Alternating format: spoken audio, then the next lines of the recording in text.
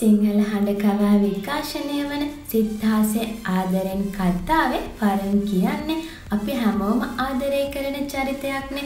පරම්ගේ චරිතයට රංගනයෙන් දායක වන්නේ ගැහැණු ළමයෙක් කියලා ඔයාලා හිතන්නවත් නැතුව ඇති. ඒ වගේම පරම්ගේ චරිතයට රංගනයෙන් දායක වන ඇය සිත්හාසයේ කතාවේ තවත් චරිතයකට රංගනයෙන් දායක වෙනවා.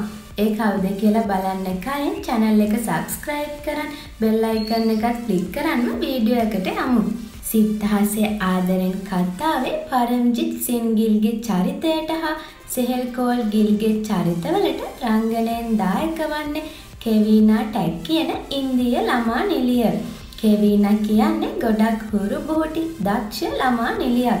දෙදස් දහනමේදී ළමා නිලියක් ලෙස සිය වෘතිය ජීවිතය සිද්ධාසය ආදරෙන් කතාවෙන් ආරම්භ කෙරූ කෙවින ඉන්දියාව පුරා ප්‍රසිද්ධ ළමා තාරකාවක් බවට පත් වුණා.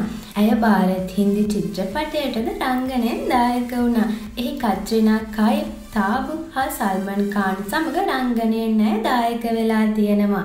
සිද්ධාසයේ කතාව පරම්ගේ පිරිමි චරිතයට ඇය ඉතා අපූරු ලෙස රංගන දායකත්වය ලබා දෙනවා.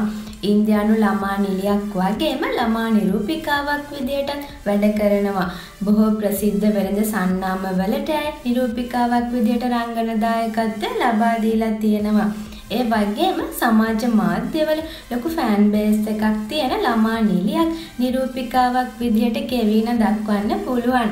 පරම්ජිත්ගේ චරිතයෙන් ප්‍රසිද්ධ වුණ ඇය සෙහෙර් කවුර් ගිල් ලෙස එම කතාවෙම තවත් චරිතයකට රංගනයෙන් දායක වූ නිසා කෙවීනට ගොඩක් අයගේ ප්‍රශංසාවල් හිමි වුණා. කෙවීන කියන්නේ ඇය සෙහෙර්ගේ චරිතේ ගොඩක් ආසාවෙන් රඟපානවා වගේම මේ කතාව නිසා කාශ්මීරයේ ගොඩක් ලස්සන තැන්වලට ඇයට යන්න පුළුවන් වුණා. ඒ වගේම ඇය රඟපාන්න ගොඩක් කැමතියි කියලත් කියලා තියෙනවා.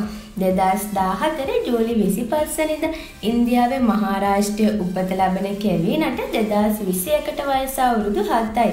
මේ වගේ පොඩි වයසකදී මේ තරම් අපූර්වට රංගනය යෙදෙන කෙවීන අනාගතයේදී ගොඩක් දක්ෂ ජනප්‍රිය තරුවක් බවට පත්වේ.